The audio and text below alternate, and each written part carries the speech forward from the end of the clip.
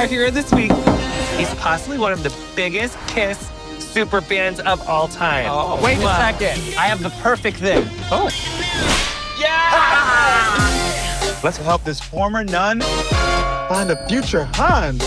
This is the chapel. Is that holy water? yes. Yes, it is. Who designed this?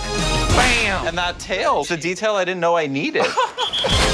All right, let's go. Denton's football school for the deaf is at risk of being cut entirely. No.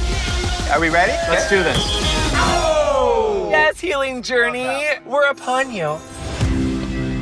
You love your brother so deeply, but I want to know who you are. I don't know who I am. My family started Doreen's Sweet Shop, and it worked so hard, but I wasn't ready to take it over. Ernest? Relationship feels like they've given up. I do feel alone. How much time do you take for yourself? It's hard.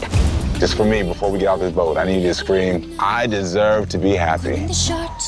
I deserve to be happy.